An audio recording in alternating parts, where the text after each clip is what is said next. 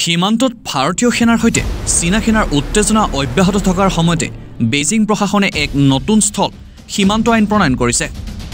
এই আইনৰ ফলত চীনৰ পিপলছ লিবাৰেশ্যন আৰ্মীয়ে সীমান্তৰ অসামৰিক লোকসকলৰ সৈতে সম্পৰ্ক ৰক্ষা কৰি বিভিন্ন কাম আগবঢ়াবলৈ সক্ষম হ'ব। উদাহৰণস্বৰূপে তিব্বতৰ ভাৰত ভূটান আৰু নেপাল সীমান্তৱৰ্তী গয়া প্ৰতিৰক্ষা ক্ষেত্ৰত গুৰুত্বপূৰ্ণ ভূমিকা পালন কৰিব। দেওবাৰে এই নতুন আইন প্ৰণয়ন কৰি বিবদমান সীমান্ত অঞ্চলত সেনাক অধিক দায়িত্ব প্ৰদান কৰাৰ লগে লগে ভাৰত তথা আন প্ৰতিবেশী ৰাষ্ট্ৰৰ বাবে নতুন সমস্যা সৃষ্টি হ'ব বুলি বিশেষজ্ঞসকলে ধাৰণা প্ৰকাশ কৰিছে। চীনৰ সামৰিক প্ৰতিৰক্ষাক বিবদমান সীমান্ত অঞ্চলত অধিক শক্তিশালী ৰূপ দিয়াৰ উপৰিও সামাজিক আৰু অৰ্থনৈতিক উন্নয়নমূলক কাম কাজতো এই নতুন আইনে বিশেষ সুযোগ প্ৰদান কৰিব। অৰ্থাৎ বিবদমান অঞ্চলত পি এল এৰ আধিপত্য বৃদ্ধি কৰাৰ ক্ষেত্ৰত অসামৰিক লোকসকলে এই আইনৰ বাবে জড়িত হৈ পৰিব। লক্ষণীয়ভাৱে আইন অনুসৰি দীৰ্ঘদিনীয়া সীমান্তৰ বিবাদ আলোচনাৰ মাজেৰে নিষ্পত্তি কৰাৰ ক্ষেত্ৰতো সেনাই লাভ কৰিব বিশেষ অধিকাৰ। দেশখনৰ চৰকাৰী সংবাদ মাধ্যমে সদৰি কৰা অনুসৰি চীনৰ সাংসদ নেশ্যনেল পিপলছ কংগ্ৰেছ কালি এই আইনত অনুমোদন জনাইছে।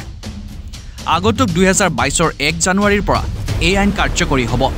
সংবাদ সংস্থা ঝিনহুৱাৰ প্ৰতিবেদন অনুসৰি দেশৰ স্থল সীমান্ত অঞ্চল সুৰক্ষিত কৰাই হ'ব আইনৰ মূল উদ্দেশ্য।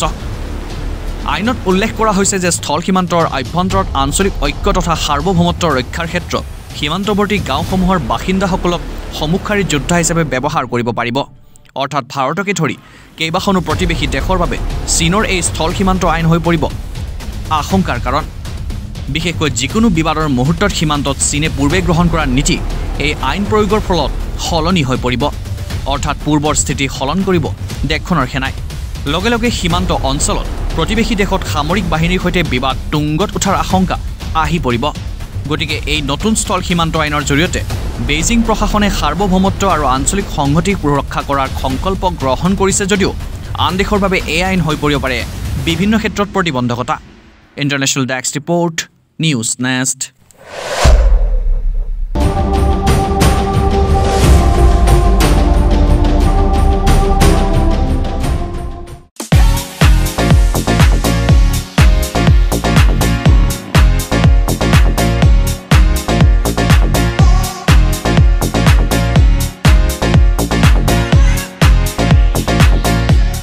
Emax Beauty Academy, number one institute in India.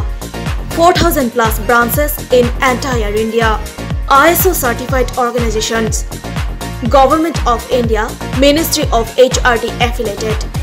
Specially for financial weak and rural area students.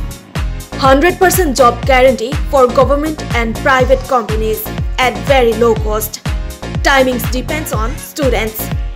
High qualified professional trainer. Food and accommodation available. Training will be on saloon or professional saloon.